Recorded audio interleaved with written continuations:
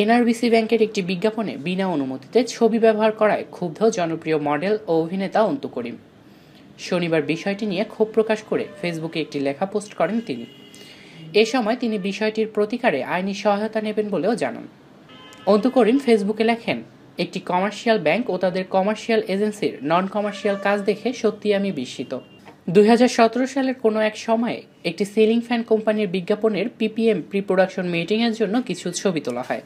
যা ছিল একেবারেই সাধারণ প্রস্তুতির।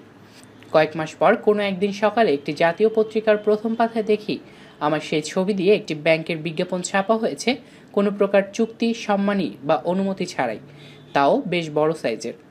অবাক হয়ে এজেন্সির সাথে যোগাযোগ করার চেষ্টা করে পারিনি। কল রিসিভ করছে না। এখন দেখছি ছবিটি নিয়মিত বিজ্ঞাপনে ব্যবহার করা হচ্ছে। আজকের একটি জাতীয় পত্রিকার ছবি এটি।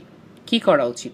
এনি আইডিয়া এদিকে বিষয়টি নিয়ে জানতে চাইলে চীন থেকে মোবাইল কথোপকথনে অন্তু করিম বলেন, এখন চায়নাতে আছি, তাই কোনো পদক্ষেপ নিতে পারছি না। আইনের পথে থাকতে চাই, দেশে ফিরে আইন বিশেষজ্ঞের পরামর্শ নিয়ে পদক্ষেপ নিব।